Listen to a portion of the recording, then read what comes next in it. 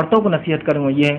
सिर्फ़ एक किस्म की सर्जरी आपके लिए जायज़ है जो कि नबी अकरम सल्लल्लाहु अलैहि वसल्लम ने आपको इजाज़त दी। आप मैक्सिमम अगर चाहती है तो सिर्फ़ खतना करवा सकते हैं।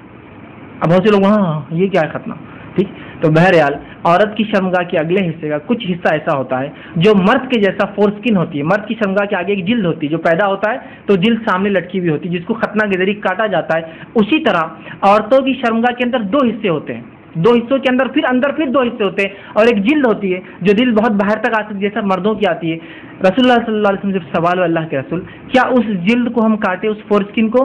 तो आपने कहा हाँ मगर ज़्यादा नहीं, वरना तुम लज्जत खो बैठोगे उसको कट किया जा सकता है, लेकिन within a certain limit इतना नहीं कि उससे लज्जत खो दे आप। लज्जत समझ आप इसलिए कि वो हिस्सा लज्जत में काम आता है, वो हिस्सा सेक्सुअल लाइफ को एनहांस करता है, वो हिस्सा लज्जत देता है मर्द को भी और औरत को भी। तो कहा कर सकती हो?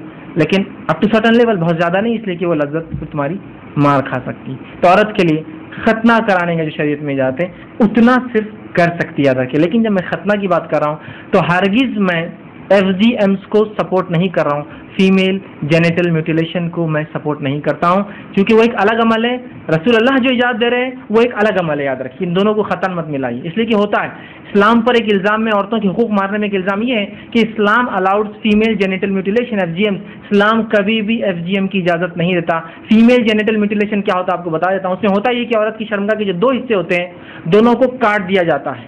काट कर उनको चिपकाया जाता है, पकड़ कर जैसी नश्तर मारते हैं सब बच्चों को करते हैं ना खतना नश्तर मारते हैं, अंदर का हिस्सा नहीं बाहर का, और उसको चिपका दिया जाता है और उसको सी दिया जाता है।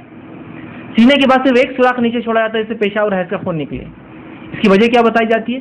कि जब उसका निकाह होगा, निकाह से पहले उसको वापस खोला जाता है और काटा जाता है ताकि वो अपने शौर के लिए करे। शरीयत हरगिज इसकी इजाज़त नहीं देती और बहुत सारे ममालिक इसको कॉमन प्रैक्टिस समझते हैं। शरीयत में इसकी कोई गुंजाइश नहीं याद रखी।